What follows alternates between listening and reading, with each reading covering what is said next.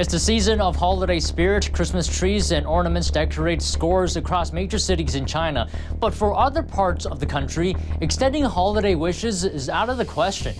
From schools to private firms and public offices, Chinese authorities urge the public to think twice about celebrating foreign traditions and instead be confident in their own culture. Some schools send out notices restricting Christmas parties, plus holiday-themed clothing, greeting cards, and decorations, even vowing to punish those who breach the rules.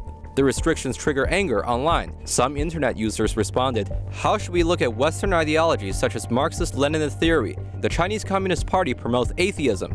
Despite not banning Christianity, Beijing has been accused of handpicking priests and bishops based on its likings. And in some instances, authorities have also rewritten portions of the Bible to fit its narratives. Christians remain a religious minority in China. Some have faced severe harassment and persecution, forcing them to take their churches and beliefs underground.